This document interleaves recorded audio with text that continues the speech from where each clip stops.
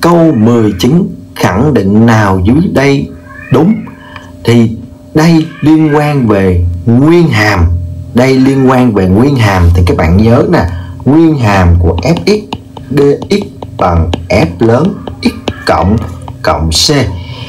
F lớn x là một nguyên hàm, một nguyên hàm của fx c là hằng số, là những con số đó các bạn.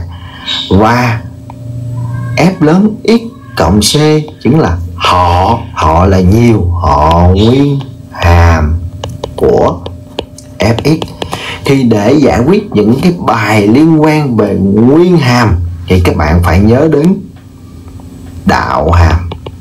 Đạo đạo hàm.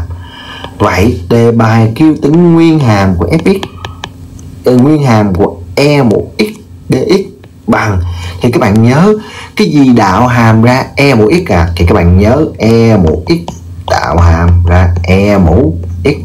Vậy từ đây suy ra, nguyên hàm của e mũ x chính bằng e mũ e mũ x e mũ x cộng thêm thêm c. Vậy bằng e mũ x cộng cộng c. Và các bạn chọn đáp án B.